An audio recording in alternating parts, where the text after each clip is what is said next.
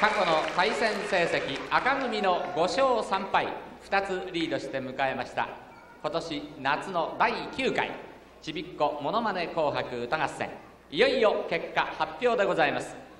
会場の一般審査員並びにゲスト審査員の批評の結果がまとまりました。服部良一審査委員長より勝敗を発表していただきます。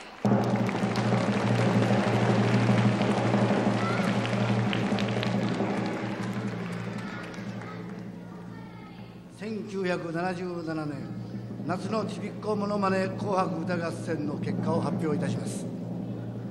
白組の優勝と決定いたします。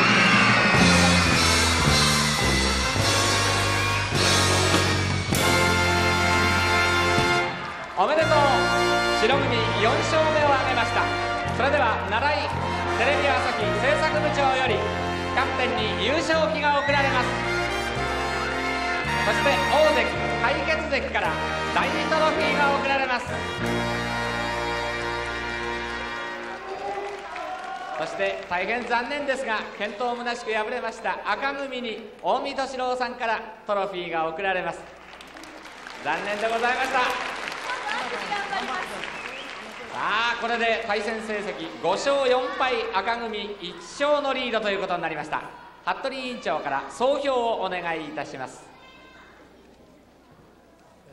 果たせるかな。後半でですね白組が挽回しまして大変、えー何年ぶりかで、えーようやくこの今年勝ったわけでございます、えー両方の印象的な歌をほっと思い出しますと私個人ですが石川さゆり君あるいは宮古晴美君男の方では狩人が非常に良かったですね、えーとにかく非常に声がよく出まして、えー去年に比べて素晴らしい成績だったと思います。どうもご苦労様でした。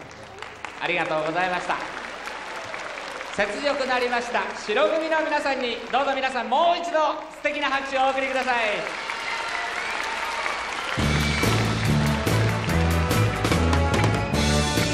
今年もまた大変厳しい暑い夏になりそうでございますがその暑さをひとときでも忘れていただくことができましたでしょうか？